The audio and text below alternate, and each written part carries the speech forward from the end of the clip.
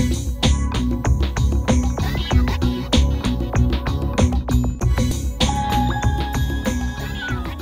what's going on?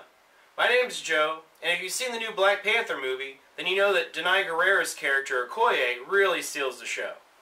There's really only one Okoye action figure available right now, and that's the Marvel Legends Build-A-Figure version, which would force you to spend $100 on figures you may not actually want in order to complete her. So if you're like me and you wanted Okoye represented in your collection somehow, but you didn't want to buy the entire wave, and you didn't want to have to fight with other collectors on Evil Bay for loose Build-A-Figure parts, I think I may have an easier, less expensive option for you. So let's get started. Cheers.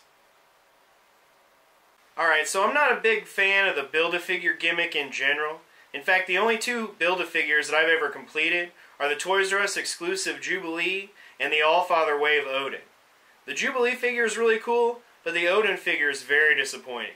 And on top of that, I took a beating reselling the Sentry and Iron Fist figures I had to buy in order to complete it. In order to build the official Marvel Legends Okoye Build-A-Figure, you would have to buy five $20 figures. The new movie Black Panther, Erik Killmonger, Nakia, Black Bolt, and Namor the Submariner. The new Iron Man figure does not come with a Build-A-Figure part for Okoye. So I was on the fence about this Iron Man figure until I saw him in person. And I'm really glad I picked him up because he's now one of my favorite Iron Man figures. I legit wanted this new Namor because I didn't have a classic Namor figure in my collection with the green Speedos. I already had the MCU Black Panther from Captain America Civil War, and I prefer that costume design over this new one, so I wasn't planning on picking up this figure either. I wasn't going to buy Nakia or Killmonger because I didn't know very much about the characters until I saw the movie. I like them both a lot, but I'm still not really interested in the Killmonger figure because he looks just like a gold-colored clone of Black Panther. And finally, my interest in the Inhumans only goes as far as Medusa. The only thing I've ever seen Black Bolt do that was cool was blow the symbiote off a Tyrannosaurus Rex in Old Man Logan. So I'm not at all interested in spending $20 on a figure of him. So after we saw the movie, I thought about it for a while, and I was like, it would be really cool to have figures of Nakia and Okoye, and even though I had the arms that came with the Namor figure, I'd still have to spend $40 on a couple of figures I didn't want. And then finally it dawned on me that I could just buy two of the Nakia figures and the new movie Black Panther and just slap the Okoye head on one of the Nakia figures. So that's what I did. Now this isn't a perfect solution because obviously some of the costume details and the color scheme are significantly different between Nakia's and Okoye's costumes. So if you're really die-hard about screen accuracy, then this will not work for you. However, I genuinely prefer the bright reddish orange and silver color combo on the Nakia figure over these Build-A-Figure parts. I really like the silver bits on this Nakia figure, especially the shoulder pad, the panther head belt buckle, and the boot cuffs that look like an accordion. The torso for the Okoye Build-A-Figure has different paint apps, including some dry brushing on her chest and abdomen, but the Build-A-Figure legs are more plain looking than these, and I think the colors pop more on this figure.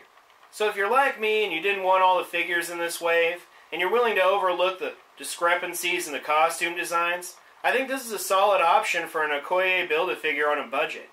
You only have to buy three figures to build this slightly inaccurate Okoye figure, because Black Panther comes with the Okoye head sculpt, and Nakia comes with Okoye's torso and her weapons to complete the look.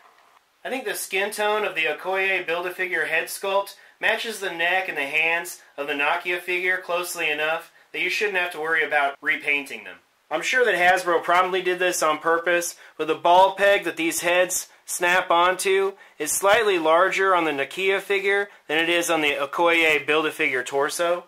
You'll probably have to heat the Okoye figure's head with some hot water or hair dryer to stretch out the socket and pop it on the ball peg snugly. But as you can see, the Okoye head fits just as well on the Nakia body as the Nakia head does. There's no more of a gap between the budget Okoye's head and neck as there is between the Nakia figure's head and neck. And just for fun, in case you were interested in picking up multiple Nakia figures and doing some head swaps to army build your Dora Milaje bodyguards, here's a Nakia figure with a Thor Ragnarok, Target exclusive, 2-pack Valkyrie figure's head on it. And here's the Nakia figure with a Toys R Us exclusive Mohawk Storm's head. The Valkyrie figure's head is a little too large to fit on this Nakia figure, which stands to reason since Valkyrie is an Asgardian, and they're typically larger than a human being. But I guess you could fudge it if you really wanted to.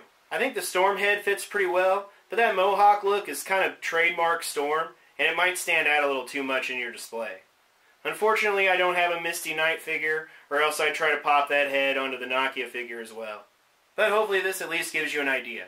So there you have it.